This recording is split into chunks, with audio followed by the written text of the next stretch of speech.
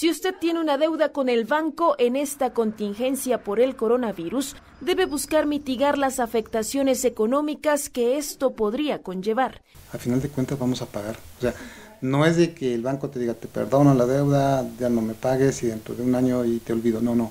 Esto es un diferimiento del pago, pero de que se va a pagar, se va a pagar en algún momento. Diferentes instituciones bancarias pusieron en marcha apoyos que otorgarán a sus clientes para el pago de tarjetas, de créditos hipotecarios, con meses sin intereses y deudas congeladas. En algunos casos hay bancos que establecen que ante la situación tampoco existirá afectación en buró de crédito ni gastos de cobranza. Afortunadamente ya existen bancos que están dando apoyos a las, a las personas en forma general, trabajadores, eh, empresas, eh, personas morales, personas físicas, etcétera.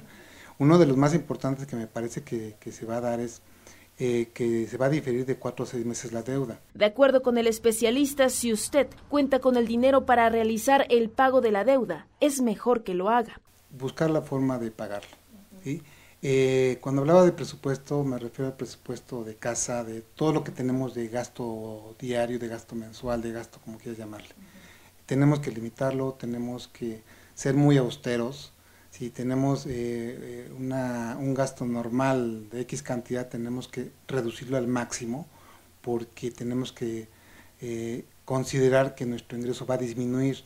Asimismo, recomienda a la población realizar un presupuesto familiar para que el dinero sea utilizado inteligentemente. Con imágenes de Osvaldo Aguilar para SET Puebla Noticias, Montserrat Navedo.